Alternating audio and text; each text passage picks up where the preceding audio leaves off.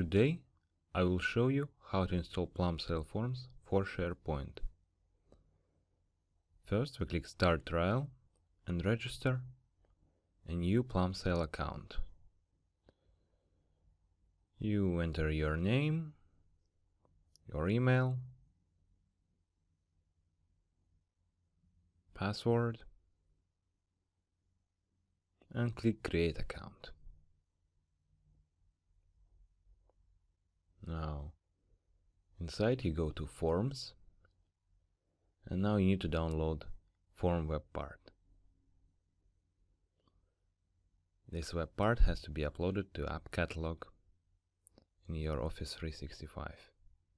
Go to Admin Center.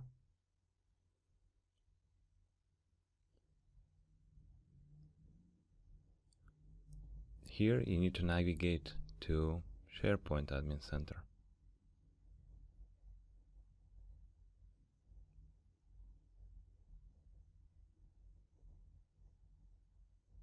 Click Apps on the left.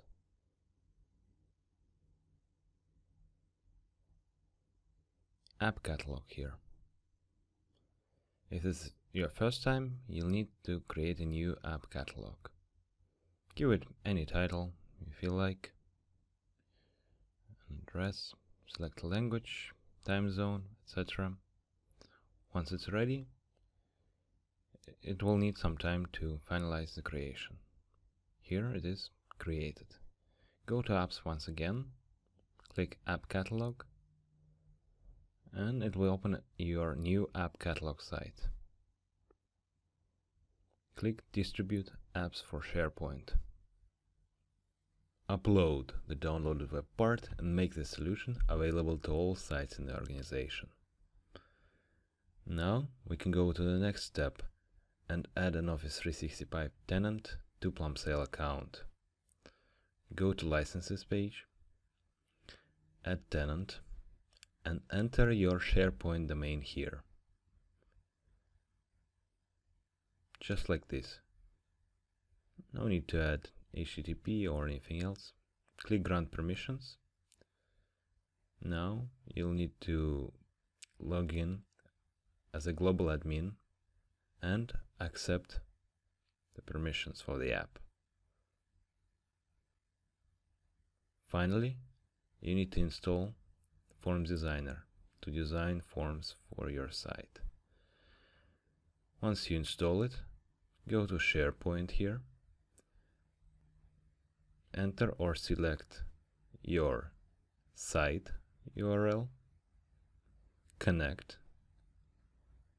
Here we have an example list. We'll be working with it and customizing it. We select example list here and click start. This will open the example list in the designer.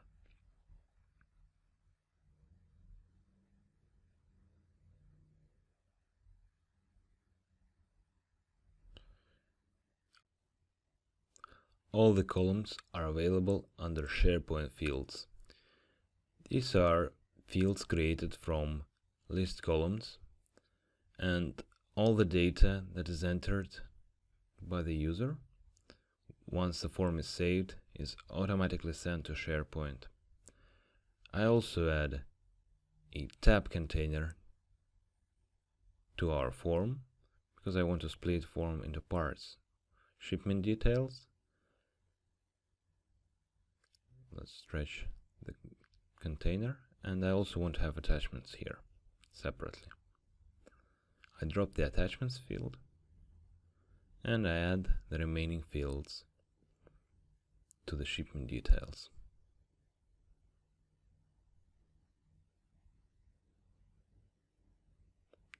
We do not need content type, so let's leave it there. And I will save all three forms you don't have to save all three of them, it's just to save time. Be very careful not to overwrite existing forms when you save three forms. Once it says the layout has been saved, we can open it here. But as you can see, it's a default form.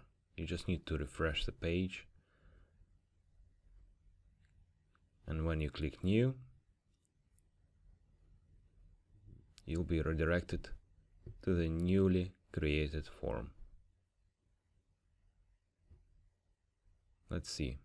Here it is. Looks quite good, but I don't like how some titles are uh, taking more space, so I'll change orientation here for these ones to be vertical so they're all in one line and I also can just increase the length here. For example 200 pixels maybe that's too much.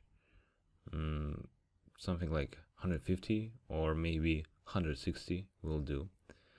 I'll apply it to all the fields for consistency. And now I'll resave the forms. Once again it's important to wait for the message that layout has been saved. Otherwise you won't see the changes in SharePoint. Here it is. I go back, I can now just refresh the page.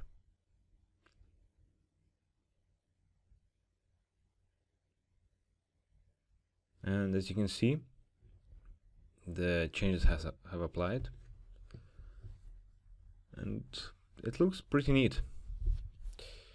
Another feature I want to show you is form panel, which you can enable here. Once the menu opens, you can turn it on and select what forms you want to open in a panel. I'll just save it for a new form. We go back, we refresh the page once again. And when we click new, once it's loaded, Okay, page is loaded, so we click new, and here, as you can see, it's opened in a panel. I hope this video has helped you, and I uh, hope you enjoy using forms for customizing your own modern UI experience. We'll continue creating videos and new materials for you, and we'll continue updating the product. So stay tuned for more and until next time.